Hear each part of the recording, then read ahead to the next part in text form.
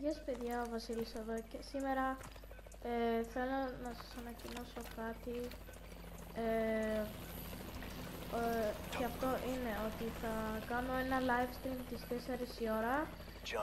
Ε, όσοι θέλετε πηγαίνετε να το δείτε. Και πιστεύω πως θα, πως θα, πως θα είναι ωραίο. Όλοι οι φίλοι μου μάλλον θα το βλέπουν, πιστεύω εγώ.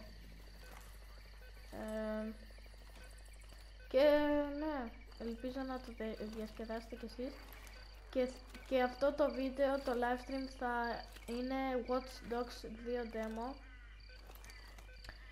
Και θα κάνω και ένα άλλο live stream την Κυριακή. 6 ώρα το απόγευμα θα κάνω και αυτό ανακοίνωση και τέλος πάντων αυτό ήθελα να πω.